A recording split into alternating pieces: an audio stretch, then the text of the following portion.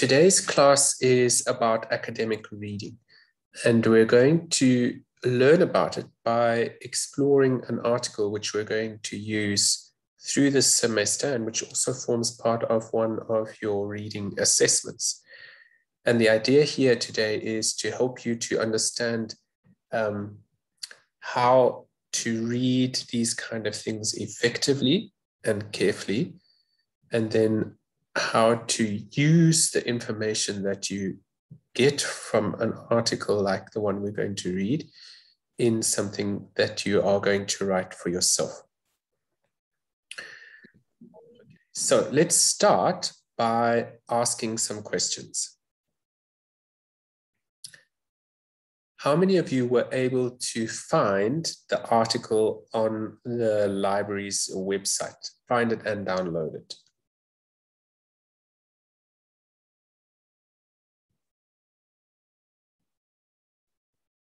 Two people so far.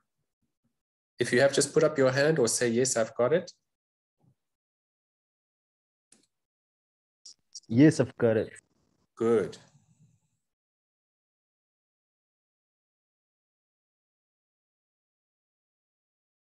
Super. Now, if you tried to get the article early in the week before I changed one of the instructions, you may have struggled to get the article. And the reason is that they've changed uh, one of the one of the directions in the in the websites from when I first put up those instructions. I just want to go over all of that for you again so that when you are looking for things in the future, it may be helpful for you, especially for the next uh, thing that you need to read. So I'm going to share my screen now. Can you just tell me when you can see Google?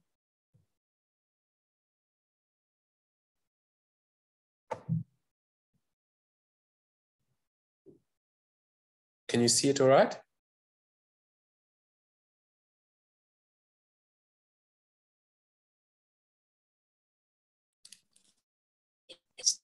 Yes, sir.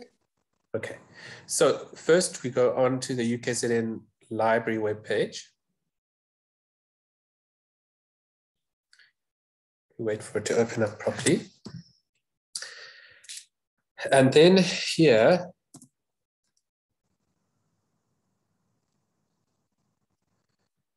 we write scatamia.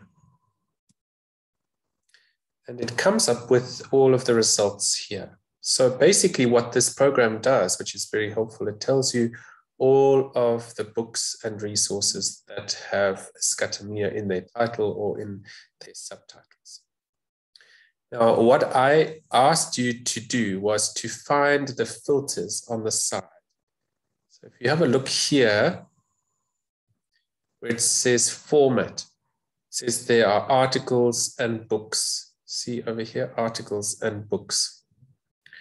For our purposes, we were looking for an article. So I got you to click on the article thing here. So if we click on that, it only shows us the results with the articles, okay? And there was the one that you needed, Soft Masculinities, okay? By somebody called Liz Gunner. You'll see that the same lady, Liz Gunner, wrote another one about Isicathamiya here. So she's written a few, okay? So there are articles. But if we wanted to find something else, and later this semester, you're going to find a thesis, okay, that is uh, what somebody wrote for their master's or their PhD or doctoral degree, okay? If you look down here, you'll see that you can get the print, a print book or a thesis or dissertation. So let's pretend we're looking for a thesis. And you'll see here that now all of these are about scatamia from a thesis point of view. Okay, and some of them you can access online, which is really helpful. So if we look um, here, there are four of them, and two of them are available online. So this one, for example, you could get uh, offline. I mean, you can uh, get it without actually having to visit the library, which is very helpful. Okay, and to do that, you would just press access online. All right, so that's the helpful thing about our library, okay? You can look for all of these things and it helps you to refine the searches by using this, this section over here, okay? You can refine it even further if you like by uh, saying in, in which library is it available, okay? So you can click any of those and you can clear the filters. This means that we're taking off all of the things that we asked for. So if I take that off now, it just gives us all the original results from the beginning that are scatamia related. Okay, so it's a very helpful website uh, and it gives you, for some of the things at least, direct access online, which means you don't actually have to be in the library. So that's the first part of this project, actually. Uh, if you were successful in finding that article, good, because that was actually a very important part of your work. When you progress through your degree, you will need to be looking for articles and information about certain things on your own. And if you can do it for this one, you can do it for others. So well done for doing that. Okay. Now let's look at the article itself. So I'm going to share the screen with the article.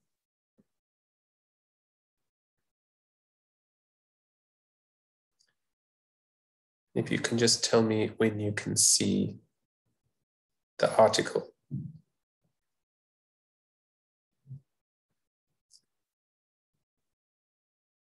All right. So before we get going with what I want to talk to you about, I would like you to give me some ideas of what this article about is about. So you've you've read through it briefly on your own. Tell me what you think this article is about. Just short reflections from all of you. Just uh, open your mic up and tell me what this article is about, even if it's just one sentence or a couple of sentences about the things that you learned from this article.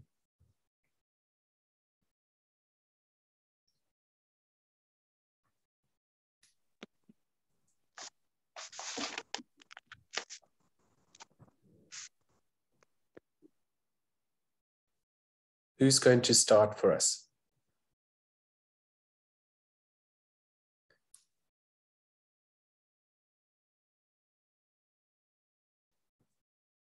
Thabo? Um, so, from my understanding of the article, it's about the music genre Isicathamiya, which is like um, a a cappella um, choral singing group in South Africa, like, and um, it's basically the article explores the evolution of the genre um, from like how it started and like how it um, managed to remain intact throughout the centuries, even through the modernization of our country and the rest of the world, basically. Good. That's a good start. Who would like to add to that now? So you've heard what Thabo said. Who wants to give some more details about uh, the article? Who's going to be next? Thank you, Thabo.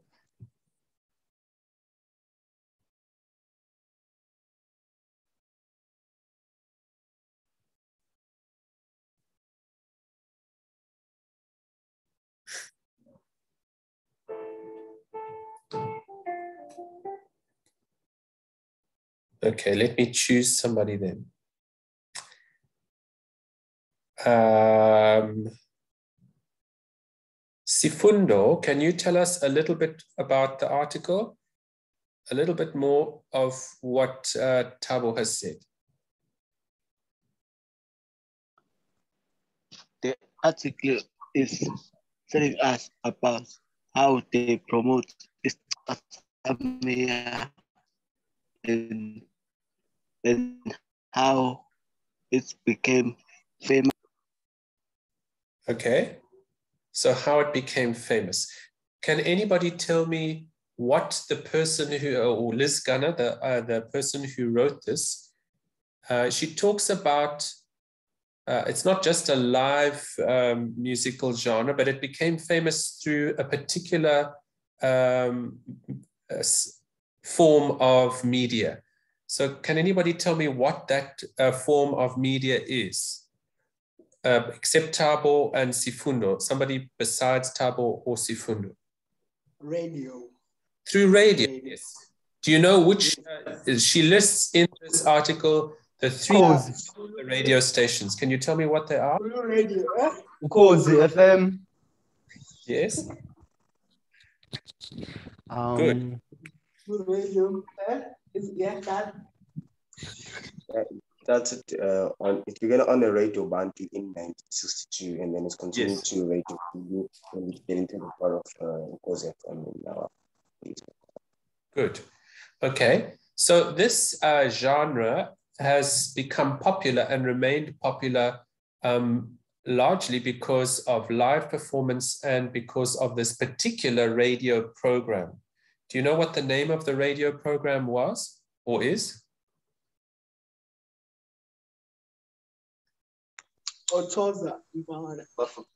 That's right. Okay. Uh, and have any of you heard this radio program before?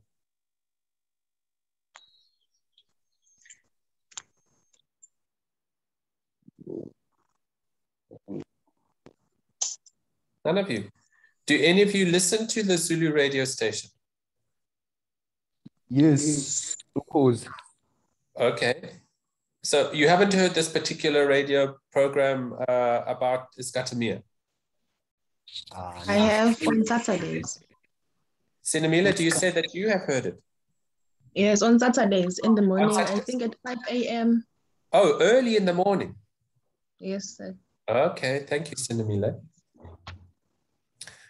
Okay, so we find that this genre is, is it a very old genre or is it quite a young genre of music? It's old. It's old. Okay, and how would you, if you say it's old, what would you consider is old?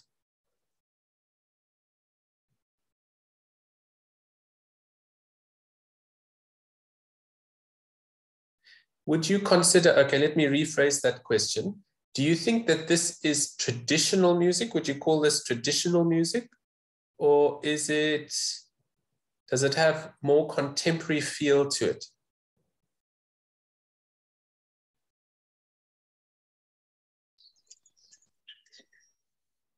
I think it's a, it's a traditional music. Okay. When we talk about traditional music, and this is a, a- question for everybody, what would you say is traditional Zulu music? What would you call, or what are the characteristics of traditional Zulu music?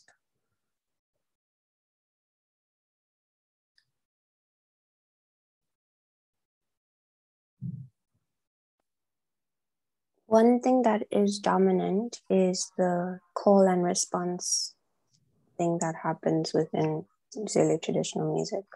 Yes, okay. Call and response. That means that there is a leader in the song who starts part of the song, and then it can be just one other person or a group of other people who respond to that caller. Okay, that's that's fairly typical of traditional African music across the continent. Okay, not just here in Southern Africa, but across the continent. Call and response. Yes. Okay, and that is uh, does have that particular type of characteristic. Okay, um, what else is uh, what else do we find in traditional Zulu music or in traditional South African music? rhythms and sequence. Yes, good. What else? What kind of instruments are used for traditional music?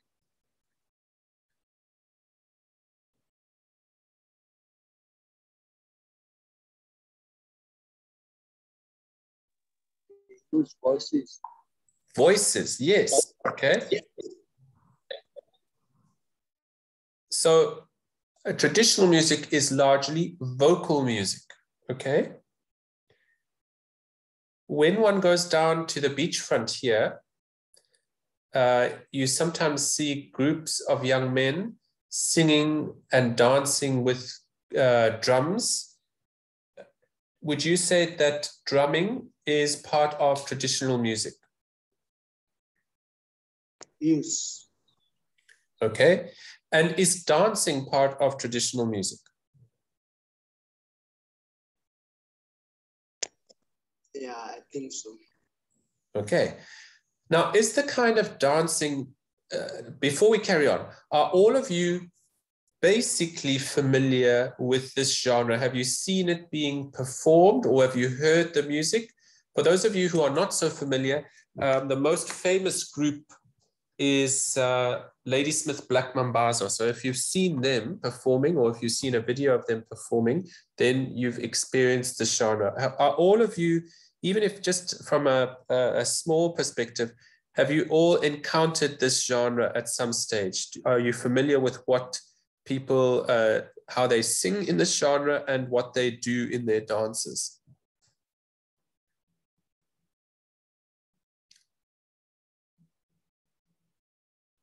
So far, only one person.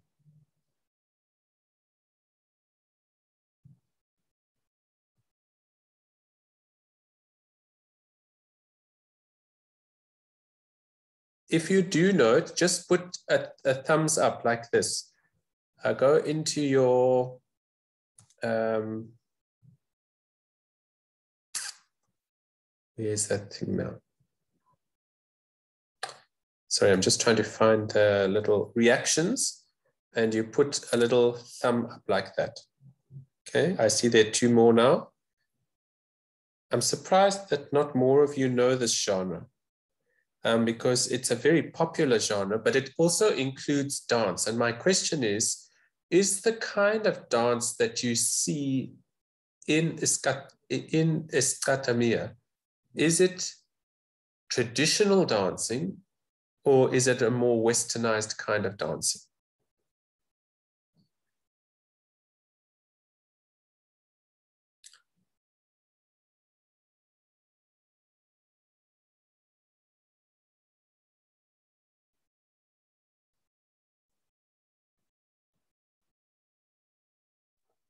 I think it does have um, qualities and characteristics of traditional Af African dancing, but it has been modernized over the years.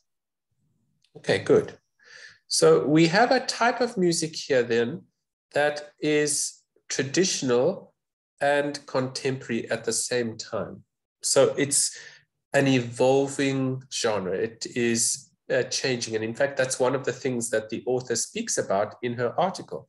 She speaks about the, the idea that that uh, is, is, has been able to be uh, contemporary by being flexible and it change, it's able to change when it needs to. Okay. All right, let's, let's take a look at the article itself. Now, you can all see my screen over there. And I just want to point out some things to you before we actually start reading. At the top of the screen here, you'll see that it says the Journal of Southern African Studies, uh, published in 2014. That tells us where the article comes from, and it was published in 2014, so seven years ago. And it tells us the exact place in the journal from volume 40 of the journal, uh, number two, the, the second issue of that journal, and then page 343 to 360. Okay, and if you were to click on this blue thing here, it would just take us to the article itself. This is like a, it's almost like a barcode, uh, which you can put into a search engine anywhere, and then it will locate this particular article for you. Okay. This picture over here, by the way, is the publisher. That's the um, the logo of the publisher, the people that published the article. Then here we've got the actual title. You see when you have a star like this, it means just go down to the bottom of the page where the star is over here. And all of that is uh, what the, the researcher herself wanted to add in there. So that's just like her own little note there, okay? And it also tells us the author is Liz Gunner, and it tells us where she was working when this uh, article was published. So she was at the University of Johannesburg. Okay, now at the beginning of academic articles from a journal, you often get this section over here at the beginning called an abstract. And an abstract is like a summary of the article. It tells us what the article finds and what it's about and gives us a summary of what the, the author discusses. And so it's helpful because if you were to read the abstract, you'd be able to see if the article was uh, applicable or uh, relevant for what you were doing or what you are studying without having to read the whole thing. So you, you don't always have to read the whole article to know if it's going to be uh, relevant for your own work. So let's just have a look at the um, at this section itself. It says the paper argues that beyond the violent masculinities that mark much of the South African social order, there exist several alternative strands that require study because they show the range of debate on manhood and shifts in centers of gender equality. In that first sentence, it's quite a, a, long sentence and it's quite a complex sentence with a number of important words. We see some uh, phrases that are going to come throughout the study often. We get this one, violent masculinities. Does anybody want to try and tell me what they think violent masculinities means? We can break that up into two words, by the way, violent and masculinities. So who can tell me what violent means?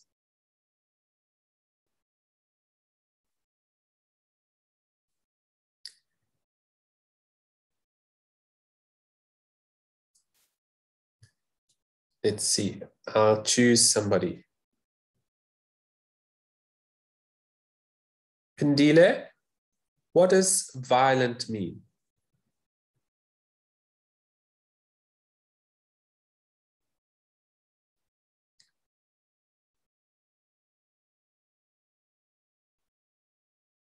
Are you there, Pindile? Okay, let's see if somebody else can who hasn't yet spoken. Tamia, can you tell me? Violent. Are you there? Okay. Violent is to act aggressive. Yes, correct. It's aggressive. Okay. Thank you, Pindile. Um, Tamia, can you tell me what masculinity means?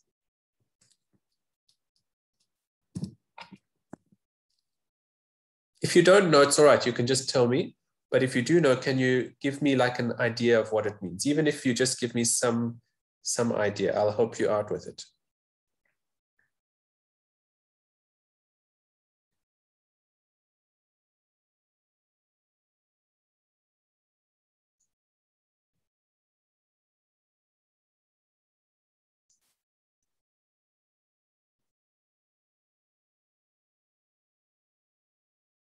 Seems that she's not there. Okay. Can you see that? Can you give, oh, there's a message here, sorry.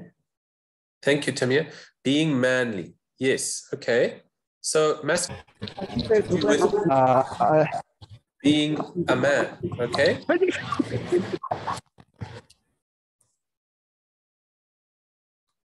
So, when we're talking about violent masculinities, we're talking about the ways of being a man and violent masculinities is about um, the ways of being a man in terms of uh, aggressiveness. Okay.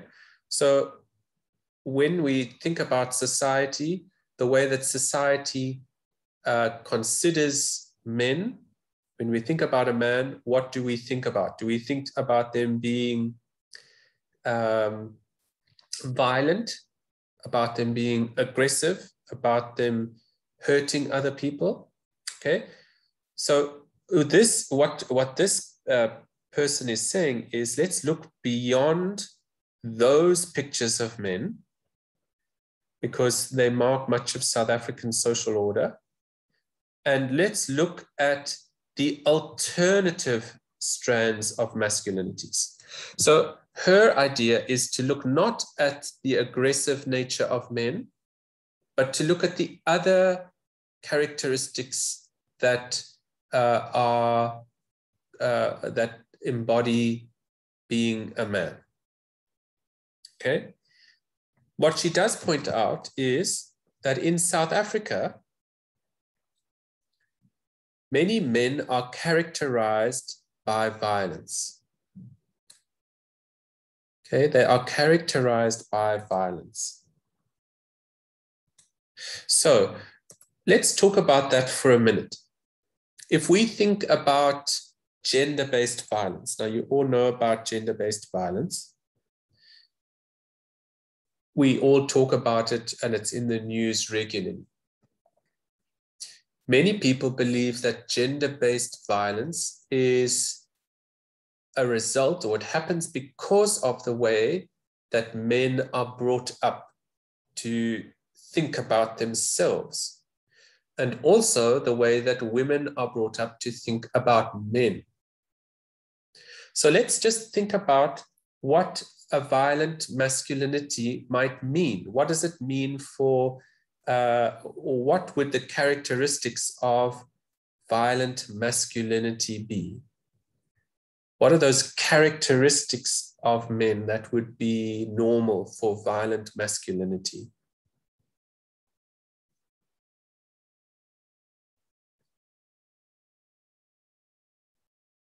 Anybody can share here, even if you just put out a few words.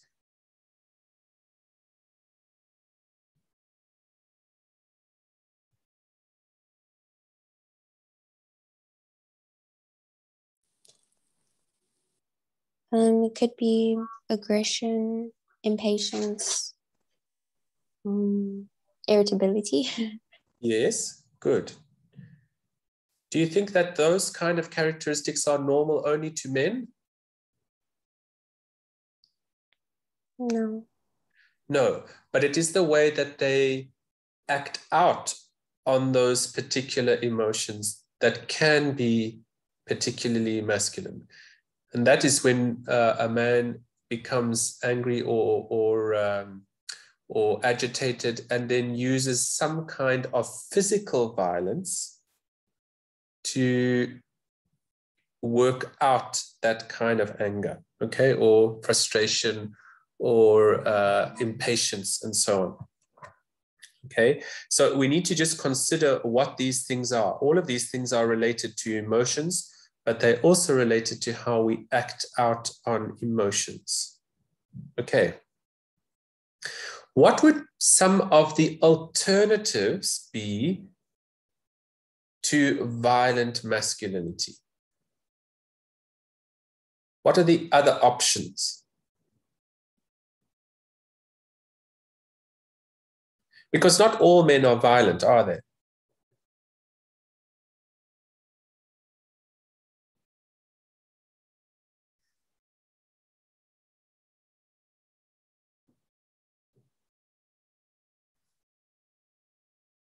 Let's see, somebody who hasn't spoken yet. Nomfundo, can you tell us what you think are some of the qualities of men that are not violent or, or about men who are not violent? What kind of um, what kind of characteristics do they show?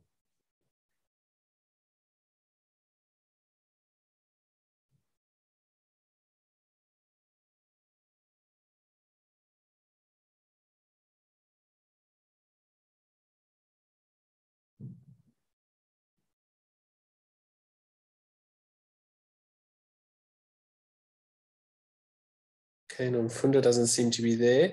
Nelisiwe, do you have some ideas?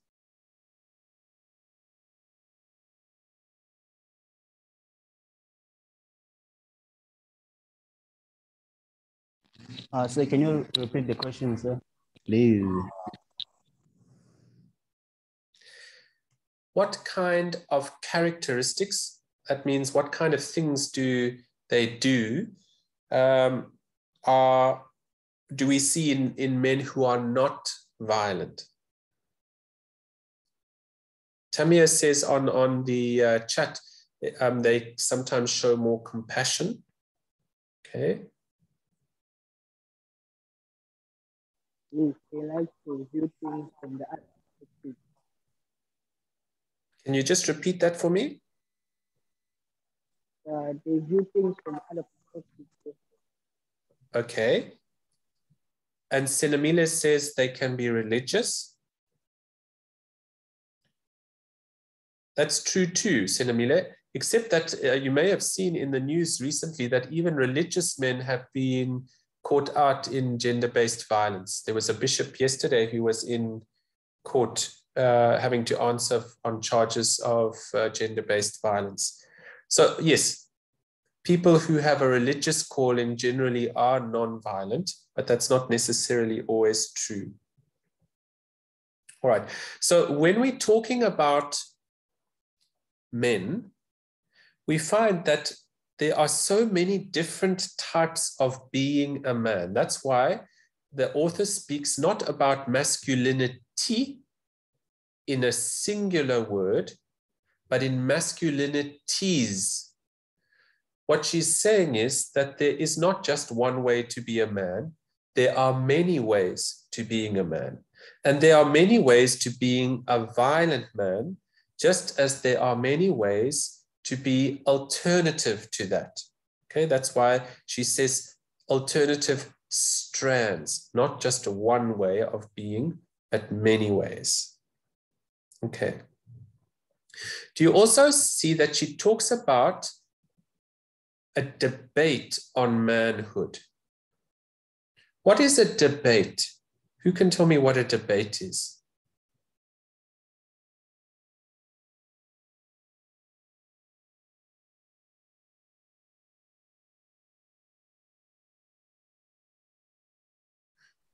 I think there is when people have different opinions and they tend to speak about raising their point of view.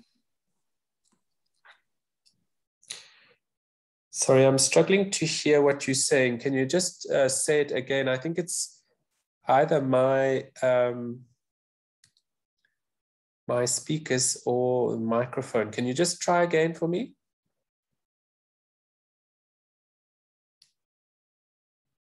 Was it Lungisi, uh, Lungisi who was saying that, or was it somebody else? Sorry, I couldn't see. Say I think uh, debate is when people have different opinions about a particular thing and they tend to speak about it, showing or verifying their point of view. That is perspective. Okay, thank you. So what a debate is, is a kind of a discussion where there is one position against another position. When we are talking about ways of being a man or ways of being a woman or ways of being a child or ways of being an adult, mostly that is determined by our culture. So the way that our culture brings us up or the expectations of our culture have a great um, influence on the way that we become who we are or how we see who we are.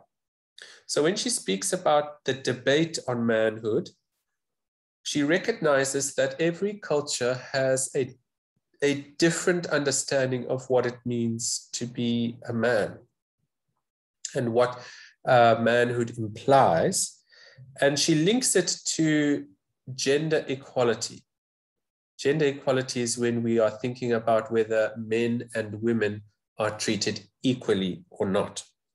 Okay, so the way that manhood is debated in society or the way that we create identity around manhood is shifting, because she says here it shifts because of how we are relating to the issue of gender equality. Now, she says this paper explores the genre of Isicathamiya as a site of soft masculinity. So notice that we've got violent masculinity over there, and we've got soft masculinity over here. There are two very different aspects uh, or very different words to describe masculinity. The study sets the genre in its historic and contemporary context. And that's what Thabo was telling us when she started out by telling us what the article was about. So the article does tell us about the genre, where it came from and how it operates now. Okay. And then it explores how uh, this genre has developed with radio and with radio programs, okay, which we were discussing. And then the last thing that it does is it looks, and none of you spoke about this, but this is a very important thing. It speaks about, uh, sorry, my phone is just ringing. I must just switch it off for a minute. It speaks about migrant workers in relation to leisure and freedom. So everybody who works, they get a day off or they get some time off, leisure and freedom and also from the restraints from ritual and chiefly authority. Okay.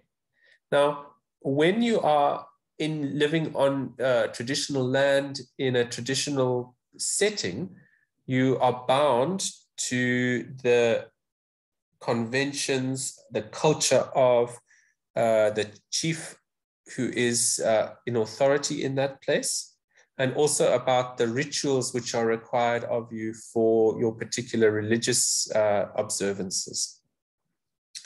But if you go to the city to work or to study, and nobody's watching what you're doing, you don't have to conform to that anymore.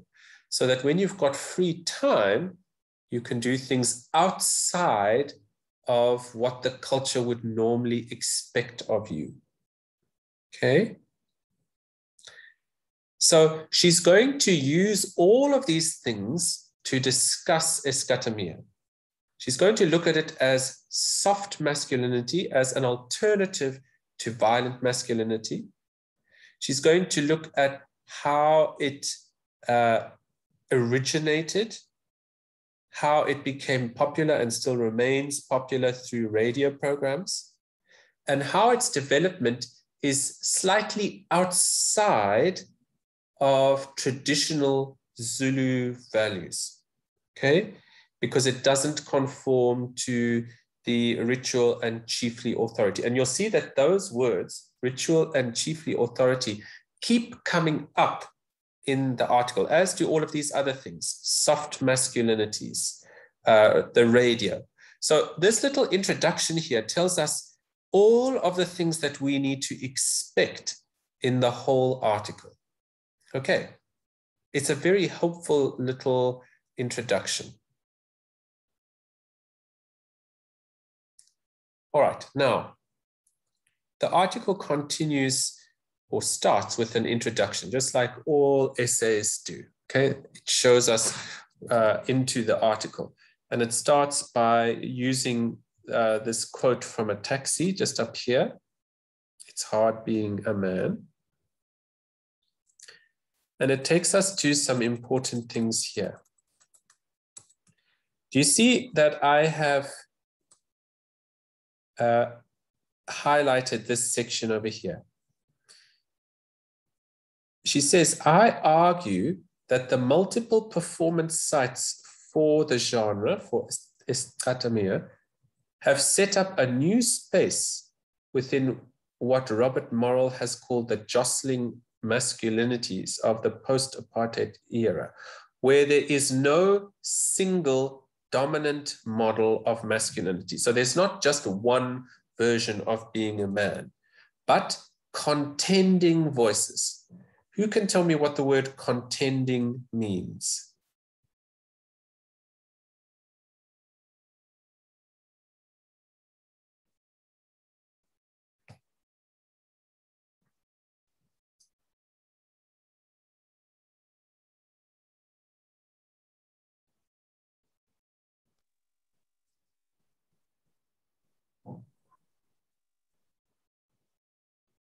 Anybody?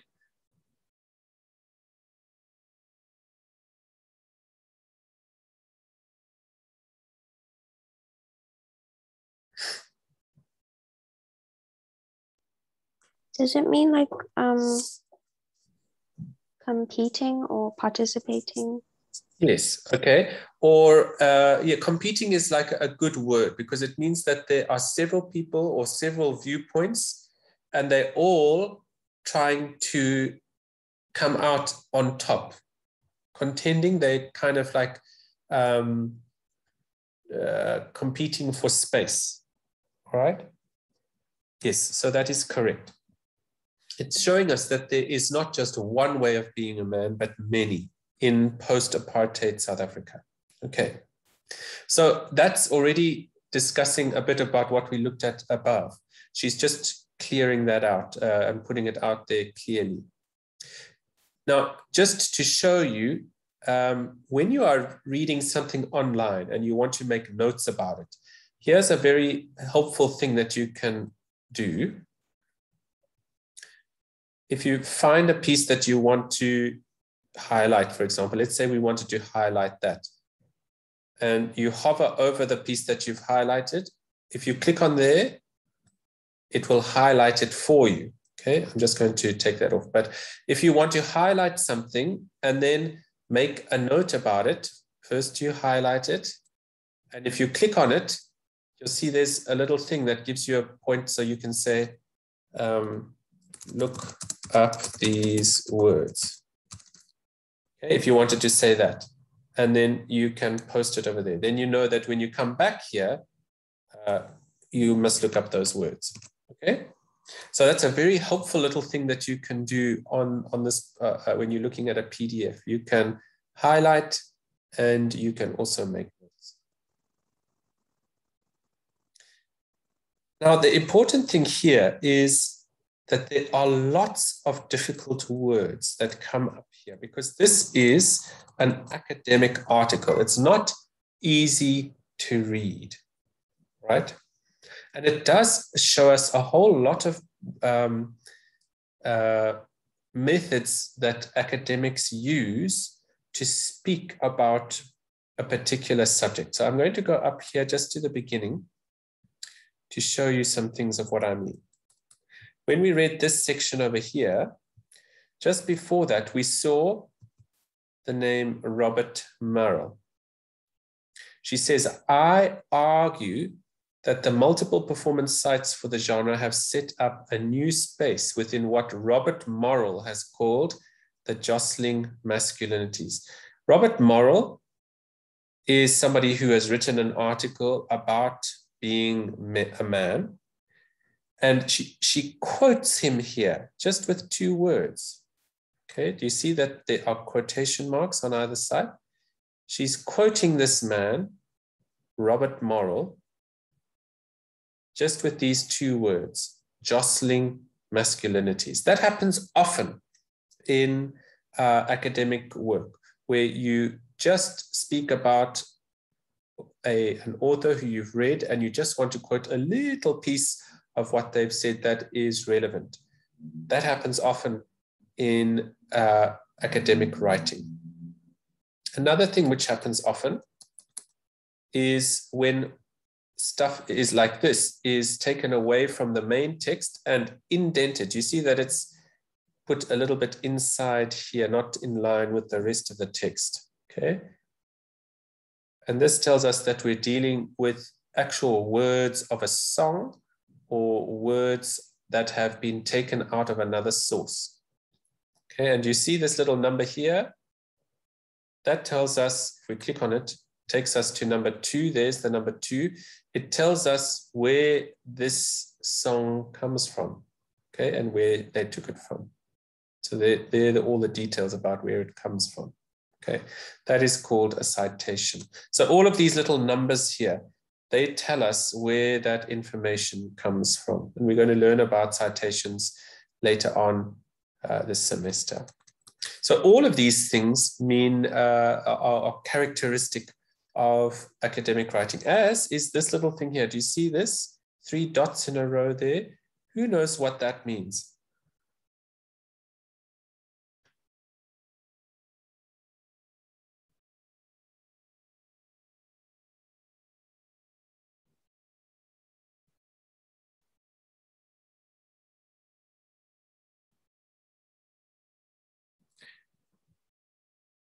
When you see something like this, it means that, uh, and it will usually only come inside a quote. Do you see there's a quotation mark there?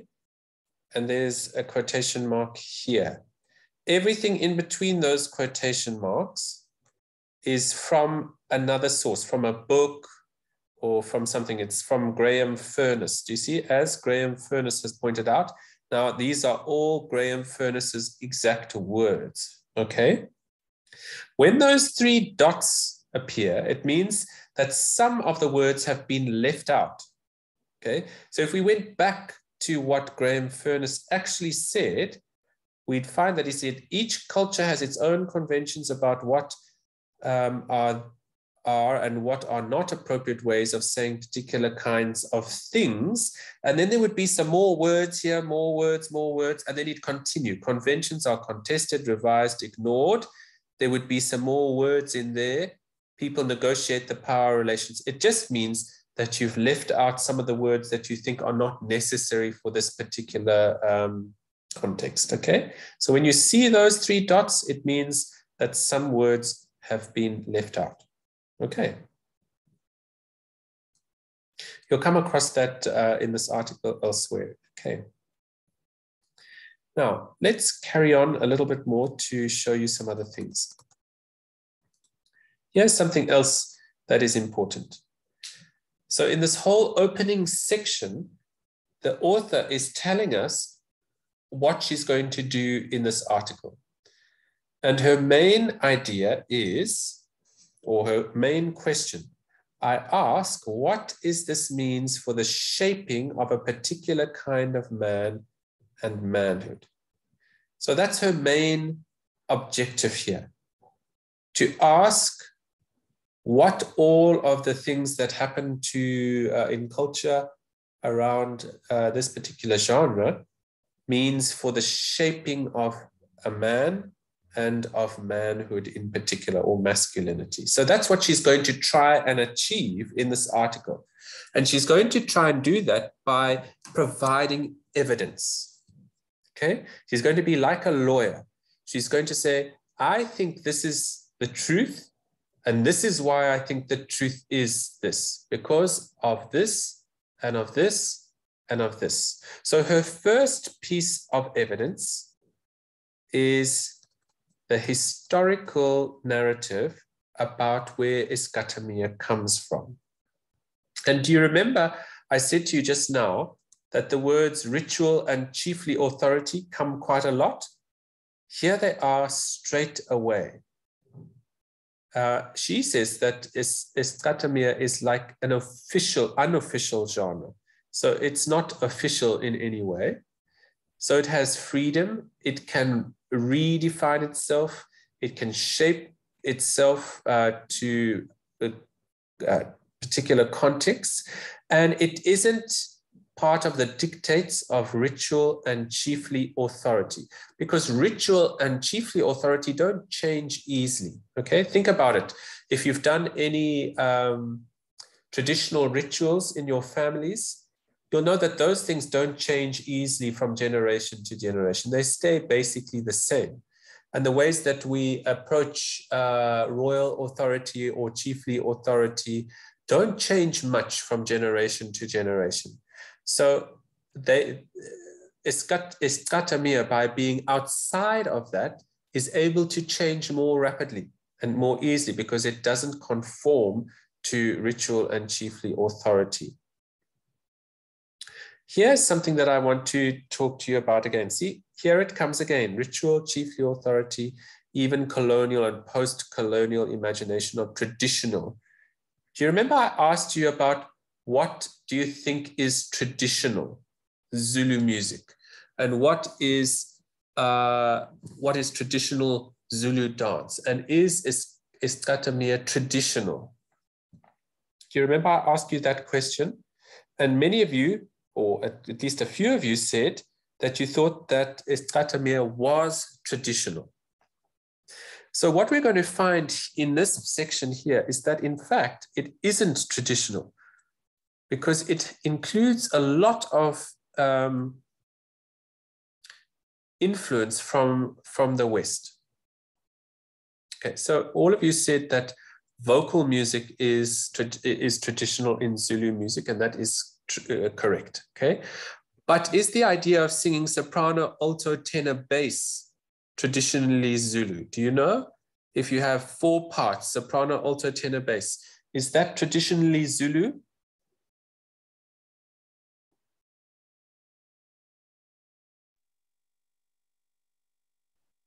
No.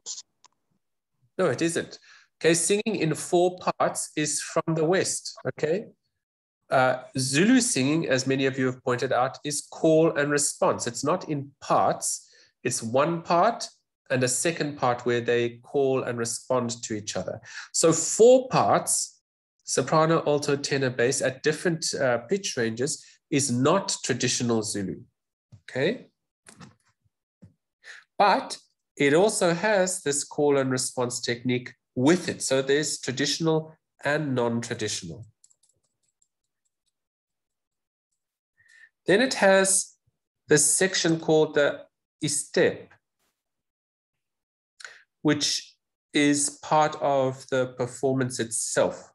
Have a look here where the historians have spoken about where Isicathamiya started. It started in the 1920s. Okay.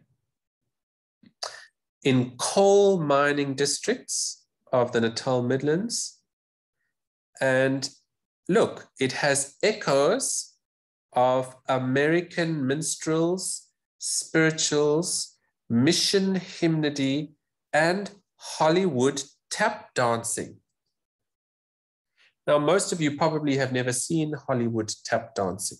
So I'm going to see if I can find a video of it for you so that you can see.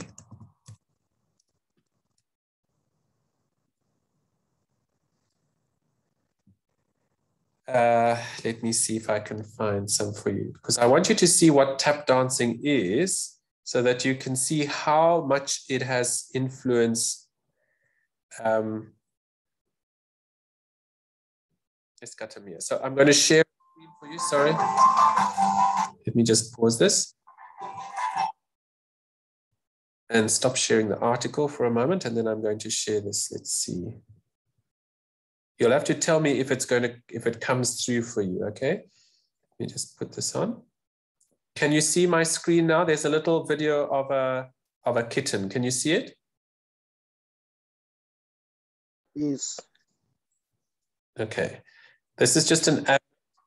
We'll start in a minute. Okay, here we go.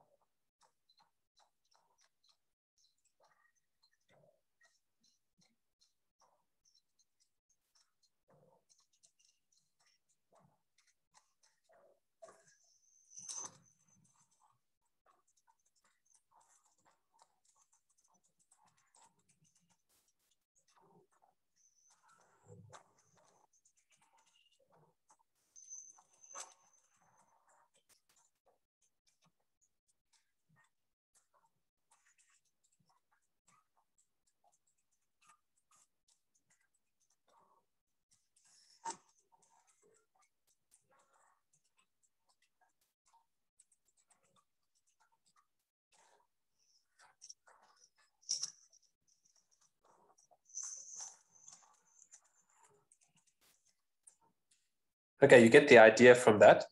I bet many of you didn't know that white people could dance like that. Okay, so let's think about this.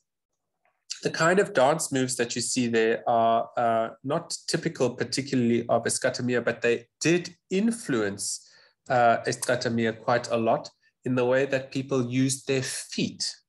Okay, and now still in uh, contemporary uh, often the use of the feet is a very important part of the dance routine itself. Okay, so let's go back to the article. Sorry, let me just get that up for you.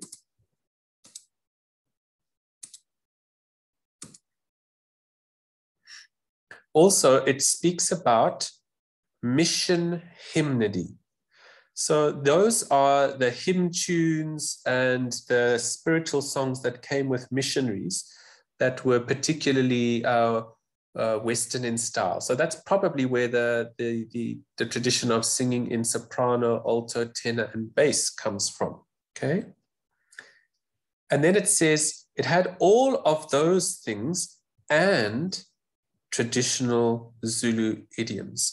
So while many of you may consider Isicathamiya to be traditionally Zulu, when we look at some of the influences that made it what it is, we can see that it is what we call a hybrid. The word hybrid means it's a combination of uh, two or more things. So if you get a hybrid car, it means that it's both a petrol car and an electric car, okay? Or you can get hybrid breeds of animals where one breed is mixed with another breed. Okay, so a hybrid musical genre is one that includes both uh, influences from one place and from another place. What that means for people who are lovers of Isicathamiya is that it is outside of the traditional Zulu music making uh, culture. It doesn't have to follow the exact rules of traditional Zulu music. Okay. Yeah, and that's exactly what she says here in the article. Because of its early connection with popular culture and leisure outside of a narrow uh, Zulu cultural archive, it's also outside of the construction of warrior, warrior masculinity. Okay, so remember that Zulu masculinity was very much uh, determined by being a warrior. Um, the Zulus had won a very important battle against the British uh, at Isandlwana, uh, where they showed that they were much more strong than the British initially. And they always remembered that, as did the British, that the Zulu had beaten them at some stage. The Black Army had beaten the white army. And so, this idea of being a masculine warrior was very much part of Zulu tradition.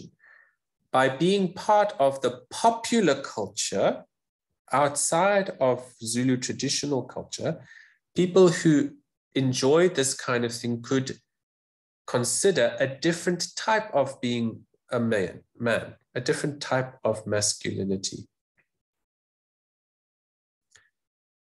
So, and here's a little bit more. She provides some more evidence of this, okay? So, um, although it was outside of particularly Zulu traditional music, it was still very much loved by Zulu people because it included aspects of traditional Zulu music, but also drew on things that they loved from other cultures. So it was outside of the grand performance genres of chiefly and royal authority. So that's like uh, praise singers and that kind of thing, okay, or praise poetry, as it says here. And it was closer to the Indlamu and Ingoma men's dance and song genres. But it says here it lacked the ulaka or the fierceness uh, of those particular genres. Now, we've all spoken about violence and one of the characteristics of violence is fierceness. So this particular genre doesn't have that. Okay. It says here the introduction of the step dance moves came from the men's Indlamu dance style known as Isishimeni. I don't know if I've said that correctly. You can tell me what how to say that.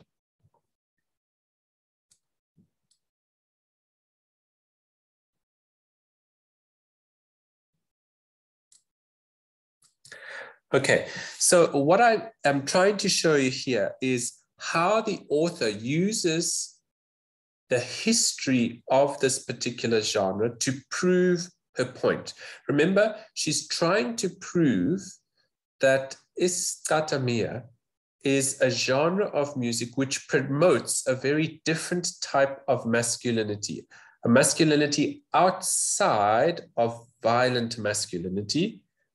And she's trying to show how the genre developed and used uh, particular attributes of music and style which were beyond traditional warrior culture. Okay, so that's part of her evidence. She's putting together all sorts of little pieces of evidence to prove her point. When you get to the end of the article, you yourself will need to decide whether she has been able to prove or, or if she's been able to provide enough evidence to prove that point or not. Okay, and that will be your personal decision. Um, but that's what the article is going to try and do from beginning to end. She uses three different perspectives history, and that's what we've been looking at here. Then she looks at the way that it's been uh, disseminated through radio, okay? And then she looks at it from um, the perspective of it being outside of traditional Zulu culture. So she uses three different lenses to look at her um, uh, evidence. Okay. Now, I'm not going to read through the whole article with you like this because it would take a very long time. But this gives you an idea of how to approach the article. When you've looked at the abstract, that opening section, and I suggest that when you read the abstract, you take a long time to understand what the abstract is saying, because if you understand that, it will help you to understand the article much more clearly. Okay. But now that you understand what the article is about and how it works, it might help you to read through the article again so that you can see what the author is trying to do and what evidence she brings out and uses to prove her point. Does that make sense?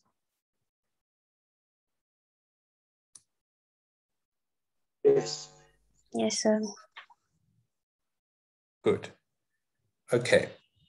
Now let's have a look at, uh, sorry, I'm just going to uh, put up the questions that you have to do for uh, this particular, I think I'm just opening them up quickly. You, in a couple of weeks, you are going to be doing a, an assessment task on this particular reading. So let's take a look at some of the questions that you are going to receive as part of that. I'm going to share that for you now. Can you all see the screen? It should say at the top, using Google Scholar at the UKZN library webpage, type in Isicathamiya, and then you'll find soft masculinities. Can you all see that?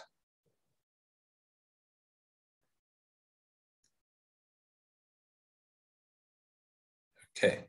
Yes, sir. Thank you.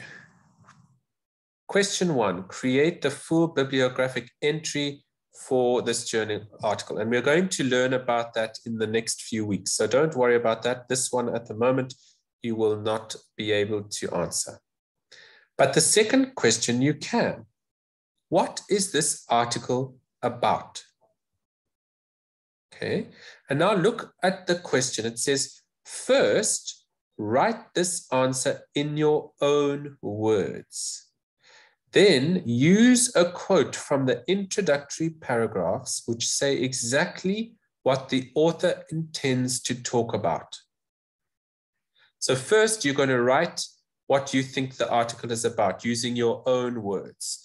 And then you're going to go into the article at the beginning and look for some of the author's own words which say what she's going to do. It says the quote need not only be one or two sentences. So uh, you could have quite a long quote if you want to. And if the author uses multiple sentences to articulate what she plans to do in the article, then you can include all of those sentences. So we've seen that she does use several sentences to say exactly what she is going to do. And I've shown you how that works. So now you'll be able to answer that question. We've also discussed this. What does masculinity mean? Okay. The author says, Isicathamiya can redefine itself more easily and shape how it operates according to the contingencies of the time rather than the dictates of ritual and chiefly authority. I want to know what she means when she's talking about ritual and chiefly authority. And we've discussed a little bit about that, but you will have more to say. Okay. Just now, we came across this word called hegemonic.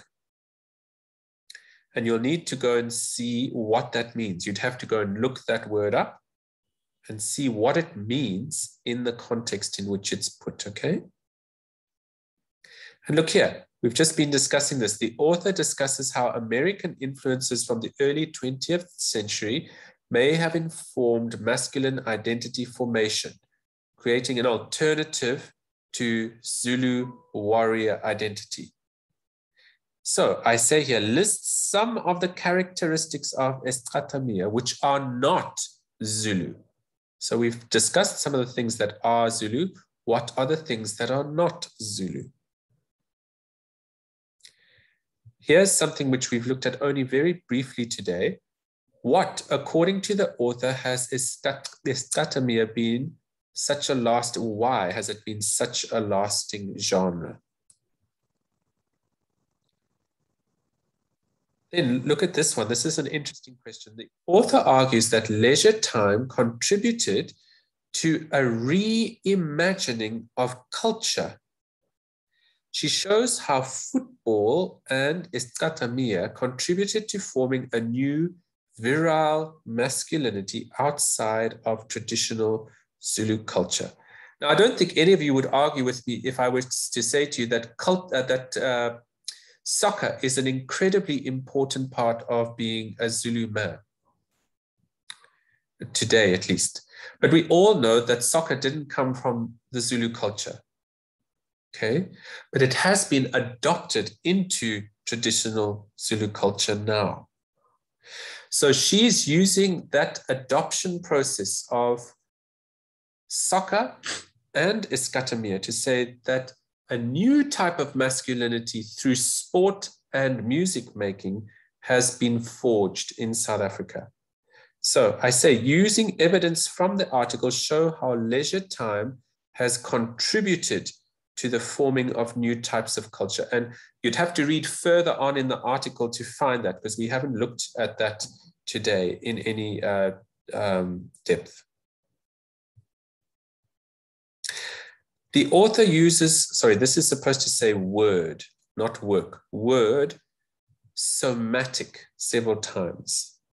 I want you to find out what that word means and what this somatic aesthetics means. Okay, you'll need to find out what that means. It appears in the article, so it will help you to understand what she's talking about. Then the author says the violent masculinities of the 1990s did not find a place in the new compositions of Isicathamiya. What are the typical subjects of the songs of that era?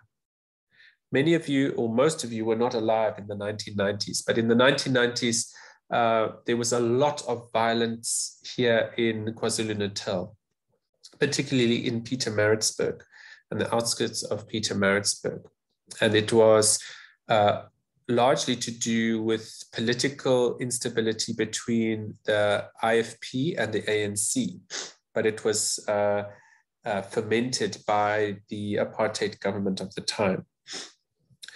So we have since then, by the way, uh, in South Africa's recent past, gone through similar um, kind of violent explosions, which are also related to politics. But it's also interesting to trace how the song subjects of Isicathamiya are related to that. So, for example, those of you who are doing AMD, uh, you said to me that you are doing Isicathamiya this semester. That's correct. Uh, is that right?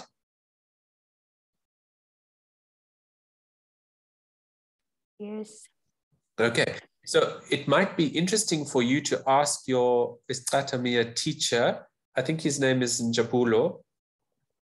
what if he has written any songs about the looting that happened a few months ago, or if he has written any songs about uh, gender-based violence, and see what he says, because her uh, the the the uh, authors uh, the author of this article is suggesting that the people who perform and write music in the genre of Isicathamiya are not typical of violent men. They are a different type of man.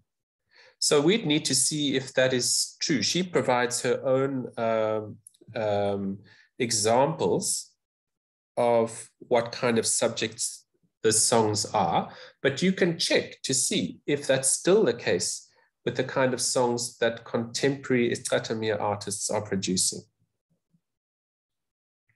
Um, for those of you who are not in African music and dance, it might be helpful for you actually to go and speak to uh, Njabulo, who is the teacher of that particular class, to see what he says about Isicathamiya. And perhaps I can even get him to talk to us as a class about it, because um, he is a recent graduate of UKZN. He only graduated last year. So he's not much older than you, uh, only a few years older than you and he is a performing and recording artist. So he'd be able to speak to us about some of the things that we are encountering here. All right, in the last paragraph of the article, the author says, an aspect of the soft masculinity that the genre has brought into the new era is the confrontation of difficult issues, both in private life and the public domain.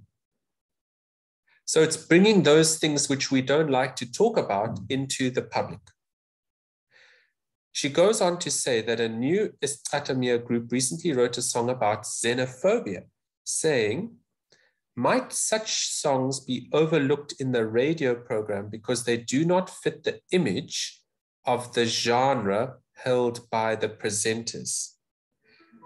And that's an interesting thought. What happens if the people who are leading the radio program are for xenophobic attacks. That means they want to encourage them. But if some of the music that they like, Isicathamiya says uh, that xenophobia is not right, what do they do then? Maybe they just don't play that music on the radio. Okay. So, how does Isicathamiya provide an alternative to the dominant masculinity of KwaZulu Natal? Okay, so this whole set of questions is, is related to the argument of Liz Gunner. She's trying to show that there are different ways of being a Zulu man and that Isicathamiya as a genre is one of the ways in which uh, a different kind of masculinity is promoted. Does that make sense to you all now that you've seen these questions in relation to the article, and we've seen how to read that article carefully.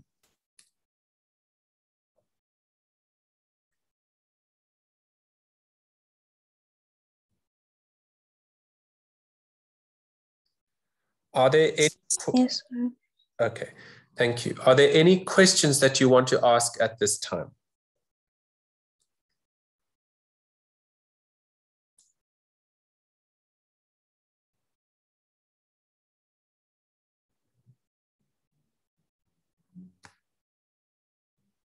Any questions? Um, no, I'm good. Thank you.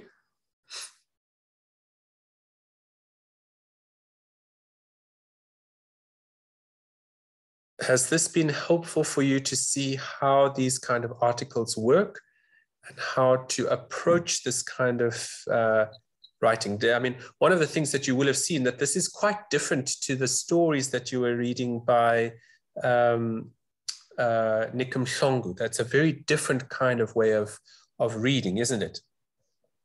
Yes. Hmm.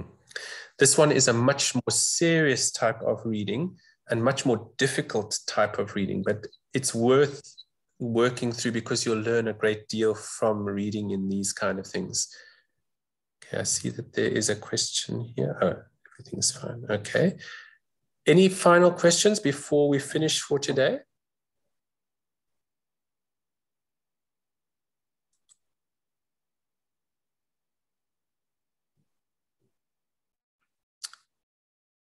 Okay. I'm hoping that by next week I will be able to return uh, to teaching on campus, but we'll just monitor things as they go. I will post this uh, lecture onto Moodle later today uh, as a video so that you, if you want to go over anything again, you are welcome to. If you want to ask any questions, please feel free to do so.